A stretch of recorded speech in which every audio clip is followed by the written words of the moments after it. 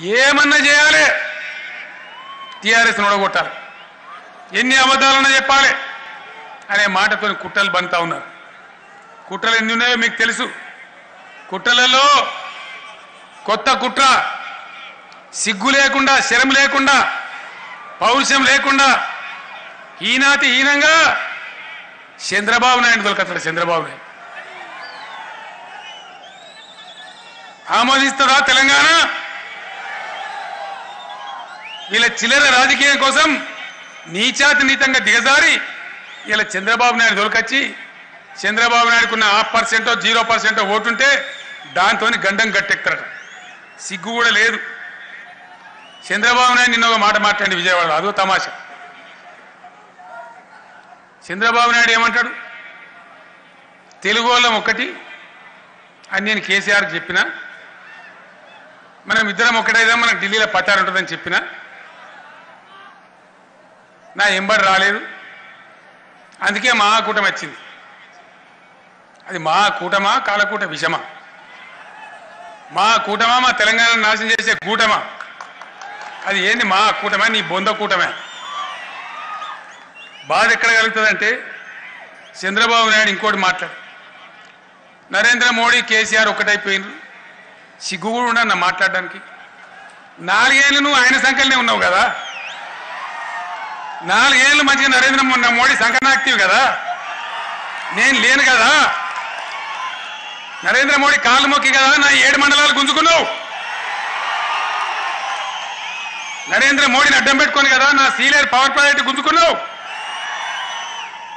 నరేంద్ర మోడీని అడ్డం పెట్టుకొని కదా? నా హైకోర్టు విభజన కానియలే. ఇవి వాస్తవాలు కావు. నిజాలు కావు ఇవన్నీ. నీ నంగనాచి మాటలు. నీకు డబ్బా కొట్టే ఒకటండి వార్తా సంస్థలు వాటిని అడ్డం పెట్టుకొని ఏదైనా చేయగలుగుతాంటే చంద్రబాబు నాయుడు. మాతోని గెలుక్కున్నావు జాగ్రత్త. తెలంగాణ దెబ్బెందో ఒకసారి తలిగితే ఎగిరి విజయవాడ కరకట్టకు పడ్డావు. అనవసరంగా మా బతుకు మేము బతుకుతున్నాం. మేము నీ తెరువు రాలే. మా వ్యవసాయం మేము చేసుకుంటున్నాం. మాకు నూట పంతొమ్మిది ఉంటే నీకు నూట డెబ్బై ఐదు ఉన్నాయి నియోజకవర్గాలు. ఆడ చక్కగా లేదు నీ కథ. ఆగమాగం ఉన్నది. మీకు నల్లగొండలకు బాగా తెలుస్తుంది కదా మీరు బార్డర్ పక్కకే ఉంటారు. ఇవాళ ఈడ దుకాణం పెడతా అనుకుంటున్నావు బిడ్డ. దబన నేను మూడో కన్ను తెరిస్తే నీ గతి ఏమైతో ఆలోచించుకోమని చెప్పి నేను మనవి చేస్తా ఉన్నా. తెలుగు వాళ్ళం ఒకడుందామంటే నీ తెలుగు పెట్టే కదా మాకు తెగులు తలిగించినవు నువ్వు. తెలుగు పేరు పెట్టే మా కొంపారిస్త్రీ ఆ తెలుగు సెంటిమెంట్ పెట్టే. చంద్రబాబు నాయుడు పేరు చెప్తే తెలంగాణ దొడ్ల కట్టేసిన బలు కూడా తలుగు తెంపుకొని పారిపోతాయి. అంత భయంకరం అంత దుర్మార్గమైనటువంటి కాలనీ ఇది. మళ్ళీ నువ్వు కావన్న మాకు తెలంగాణకు? సిగ్గు లేదా ఇంకా నువ్వు పెట్టిన బాధలు నువ్వు వేసిన కాల్పులు బూటక ఎన్కౌంటర్ల మీద నువ్వు కాల్చి చంపిన వేల మంది పిల్లలు వాళ్ళ ఆత్మలు ఘోషిస్తూ ఉన్నాయి ఈరోజు. అటువంటి తెలుగుదేశం పార్టీతోని సిగ్గు లేకుండా నిస్సిగ్గుగా పొత్తు పెట్టుకుంటామని పోతున్నారు కాంగ్రెస్ నాయకులు. అందుకే నేను తెలంగాణ కోసం మీ అందరికి తెలుసు ఎవ్వరికి రాజీ వల్లే ఎన్ని ఆటంకాలు వచ్చినా వెనకకు పోలే. నిజామార్తపేట హాస్పిటల్లో డాక్టర్లు చెప్పారు నువ్వు కోమాలకు పోతావు చచ్చిపోతావు కేసీఆర్ మా మాట వినంటే నేను వినలే. సావు నోట్ల తలకాయ పెట్టి సాధించిన తెలంగాణకు మల్లం తీసుకుపోయి విజయవాడ కప్ప చెప్తారా?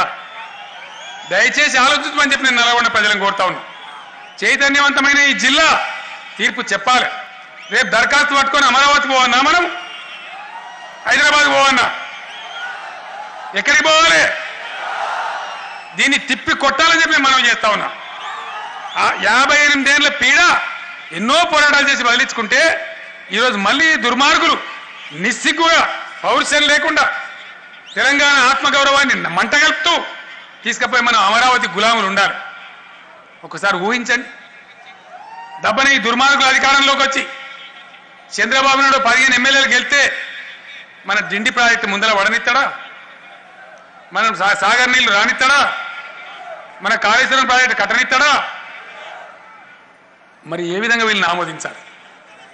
ఏ విధంగా తెలంగాణ దీన్ని అర్థం చేసుకోవాలి? ఇంత నీచమా? మీ అధికారం కోసం మీ స్వార్థం కోసం ఎంతకైనా దిగజారుతారా? ఇంతకన్నా అధ్వానం ఇంకోటి ఉంటుందా? దయచేసి ఆలోచించాలని చెప్పి నేను మనవి చేస్తా ఉన్నా. ఏ ఒక్కనాటికి కూడా చంద్రబాబు నాయుడు ఏం మాట్లాడిండు? ఏ నాటికైనా రెండు తెలుగు రాష్ట్రాలు ఒక్కటి చేస్తా. ఇంకోడేమో రెండు జర్మనీలు ఒకటైనట్టు బెర్లిన్ కూడా కూలబట్టినట్టు మళ్ళీ ఒకటి చేస్తామని ఇంకోటి మాట్లాడతాం చంద్రబాబు నాయుడు నమ్మదగ్గ వ్యక్తి కాదు. నయవంచకుడు ద్రోహి బొడ్లే కత్తి పెట్టుకొని తిరుగుతుండు. ఇక రెండవ అంశం కల్వకుంట్ల చంద్రశేఖరరావు గారు. గత కొన్ని రోజులుగా ప్రభుత్వం రద్దు చేసినప్పటి నుంచి మనమందరం చూస్తున్నాం మీరందరూ చూస్తున్నారు. అసలే కోతి కళ్ళు తాగింది ఆ పైన తేలు కుట్టింది ఇంక ఎట్లా దుంకులాడుతుందో చూస్తే ఉంటుందో చంద్రశేఖరరావు గారి వ్యవహారం కూడా అట్లనే ఉన్నది.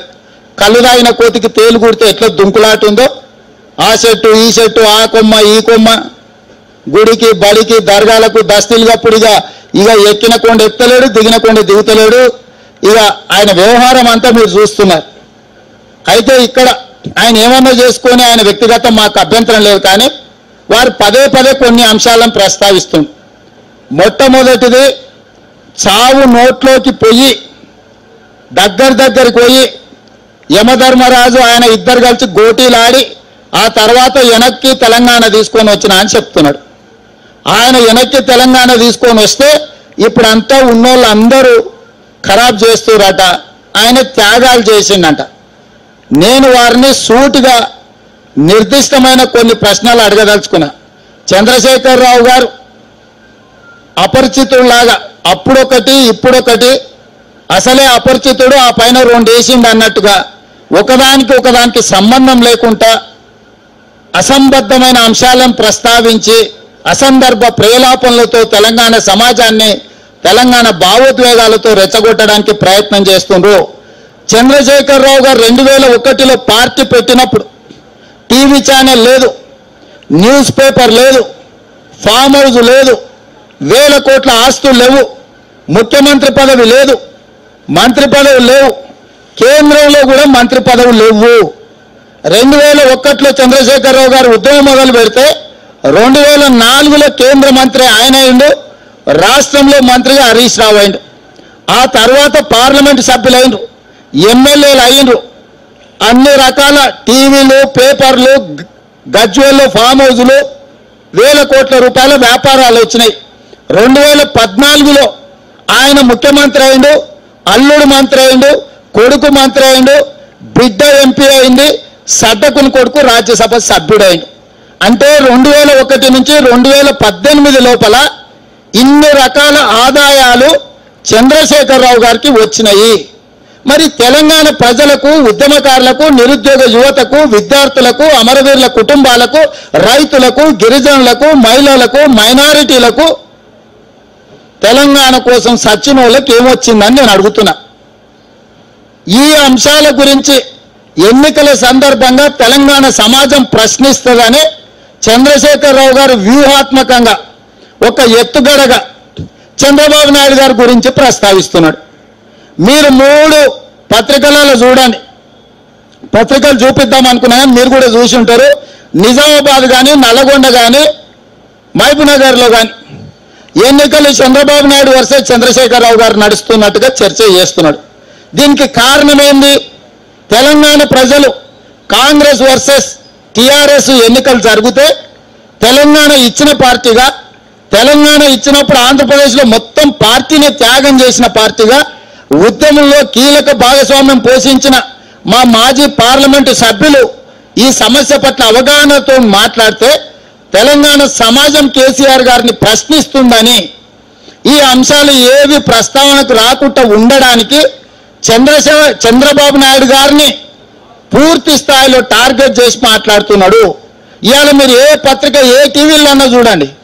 తెలంగాణలో జరుగుతున్న ఎన్నికలలో చంద్రశేఖరరావు గారు కుర్చీ చంద్రబాబు నాయుడు గారు గుంజుకోనికి ప్రయత్నం చేస్తున్నట్టుగా మాట్లాడుతున్నాడు ఆయన. పత్రికలలో అందుతున్న సమాచారం మేరకు తెలుగుదేశం పార్టీ కాంగ్రెస్తో పొత్తు పెట్టుకుంటే పదో పదిహేను స్థానాలు పంచుకుంటారని వస్తుంది. పది పదిహేను స్థానాలలో తెలుగుదేశం పార్టీ గెలిచినా నిలబడ్డా గెలిచిన మొత్తం తెలంగాణ వాళ్ళే కదా. ఎల్రమ్మ గారు కావచ్చు పెద్దిరెడ్డి కావచ్చు రావుల చంద్రశేఖర్ రెడ్డి కావచ్చు బొల్లం మల్లయ్య యాదవ్ కావచ్చు సండ్ర వెంకట వీరయ్య గారు కావచ్చు లేకపోతే ఇలా ఎవరు నామ నాగేశ్వరరావు గారు కావచ్చు ఎవరైనా ఈ తెలంగాణలో పుట్టి తెలంగాణలో పెరిగి సస్తేరేపి తెలంగాణ గడ్డల్ని బొందబెట్టేటోళ్ళే కదా టీడీపీ నుంచి పోటీ చేసేటోళ్ళు. ఎవరన్నా ఆంధ్ర వాళ్ళు ఉన్నారా? పోనీ చంద్రబాబు నాయుడుకి ఈ రాష్ట్రంలో ఓటన్న ఉందా? చంద్రబాబు నాయుడుకి ఆయన కొడుక్కి కనీసం తెలంగాణ రాష్ట్రంలో ఓటు కూడా లేదు. ఓటు కూడా లేని చంద్రబాబు నాయుడు గారి గురించి ఎందుకు చంద్రశేఖరరావు గారు కడుపు మంటతో అక్కస్తో మాట్లాడుతుండు అని అంటే మళ్ళొక్కసారి తెలంగాణ ప్రజల్ని తెలంగాణ సమాజాన్ని తెలంగాణ సెంటిమెంట్తో భావోద్వేగాలను రెచ్చగొట్టి పోరాటం చేసి త్యాగాలు చేసి తెచ్చుకున్న తెలంగాణలో అమరావతి నుంచి వచ్చి చంద్రబాబు నాయుడు గారు ఇక్కడ పెత్తనం చేస్తాడనడం ద్వారా ఆంధ్ర వాళ్ళ పెత్తనాన్ని సహిద్దామా? తెలంగాణ పౌరుషాన్ని ప్రదర్శిద్దామా అని ఒక కొత్త రాజకీయ ఎత్తుగడగా చంద్రశేఖరరావు గారు ముందుకొస్తుండ్రు. ఇవాళ తెలంగాణ సమాజానికి సూచన చేస్తున్నా నేను. చంద్రబాబు నాయుడు గారు ఇక్కడ పోటీ చేయరు. చంద్రబాబు నాయుడు గారికి తెలంగాణతో సంబంధం లేదు. అంటే ఇట్లాంటి ఉడత ఊపులు ఎన్ని చూసి ఉంటాడు చంద్రబాబు నాయుడు? వేస్తే ఒకటి దిగితే ఇంకోటి మాట్లాడే చంద్రశేఖరరావు మాటలకు ఏమైనా విలువ ఉందా? ఆయన ఏదో ఓటుకునోటు ఓటుకునోటు అంటుండు కదా. ఏం బిక్తాడో పీకమానుండ్రి అదే కదా మేము చెప్పేది. నేను చెప్తున్నా కదా. చంద్రబాబు నాయుడు అంత దూరం ఎందుకు? నేను ఉన్నా కదా ఈడ. నన్ను దాటమని నన్ను దాటినాకే కదా అమరావతి పోయేది. రమ్మను చంద్రశేఖరరావు వస్తాడో లేకపోతే ఆయన వెనకాల ఉన్న మూడు వేస్తాడో? ఏదో పీకే ప్రయత్నం చేసిండ్రు కదమ్మా మూడు రోజులు ఇంట్లో కూర్చొని. ఏం తేలింది? కాబట్టి కొండందవి ఎలకనైనా పడతారు అనుకున్నాం కనీసం తొండని కూడా పట్టలే కదా.